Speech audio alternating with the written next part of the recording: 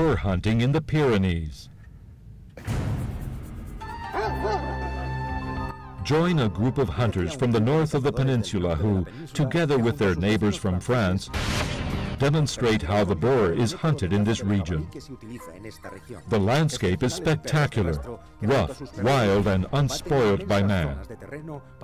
The drive takes us over an enormous expanse of terrain where our well-trained tracker dogs will have the difficult task of raising the boars and driving them in towards the stations.